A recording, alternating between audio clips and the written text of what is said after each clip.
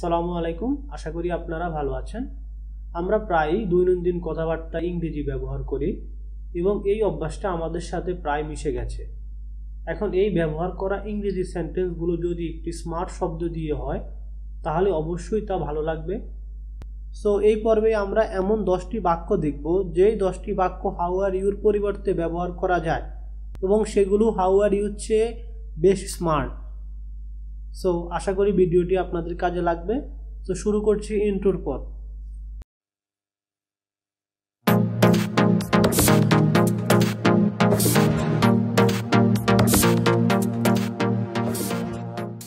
আমাদের প্রথম উপায়টি হচ্ছে হোয়াটসঅ্যাপ আসলে হোয়াটসঅ্যাপটি খুবই কমন বর্তমানে। এটা ইনফর্মাল কথাবার্তায় খুব ইউজুয়ালি ব্যবহার করা হয়। সাপোজ ফ্রেন্ড সার্কেলদের মধ্যে বা ইনফর্মাল ব্যক্তিদের সাথে কথা বলতে গেলে হোয়াটসঅ্যাপ ব্যবহার করা হয়। আসলে হোয়াটসঅ্যাপ নিয়ে আমাদের অনেকেরই মনে একটা কনফিউশন থাকে যে হোয়াটসঅ্যাপ কীভাবে কারও খোঁজ খবর জিজ্ঞেস করার অর্থে ব্যবহার করা যায়। আসলে এখানে হোয়াটসঅ্যাপ মানে এখানে আপ বলতে এখানে উপরে না, এখানে আপটা হচ্ছে অ্যাকচুয়ালি আপডেটের শর্ট ফর্ম তো এখানে হোয়াটসঅ্যাপ বলতেই বোঝানো হচ্ছে হোয়াট ইজ আপডেট তার মানে হালনাগাদ কি, তার মানে আপনি কেমন আছেন। দু নম্বর ওয়েটা হচ্ছে হাউ হ্যাভ ইউ বিন তিন নম্বরটা হচ্ছে হাউ আর থিংস গোয়িং সব কিছু কেমন যাচ্ছে?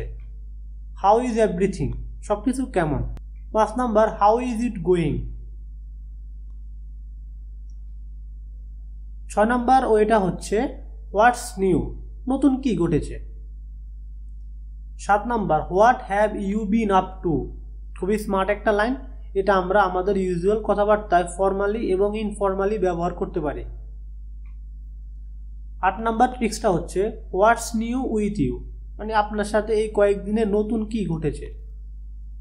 দ্যাট মিনস এখানে আপডেটটা জানতে চাওয়া হচ্ছে। হোয়াটস গোয়িং অন কি হচ্ছে বা কি চলতেছে? বা আপনার সাথে কি ঘটতেছে? এখানে তা সম্পর্কে জানতে চাওয়া হচ্ছে। হাউ ওয়াজ ইউর ডে তোমার দিনটি কেমন ছিল? তার মানে তার আপডেট সম্পর্কে জানতে চাওয়া হচ্ছে।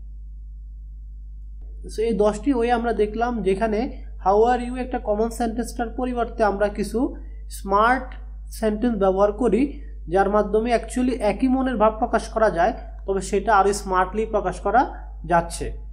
আশা করি আমরা এই স্মার্ট ওয়েগুলোকে ব্যবহার করে আমরা মনের ভাবটাকে প্রকাশ করব। আশা করি ভিডিওটি আপনাদের কাজে লাগবে।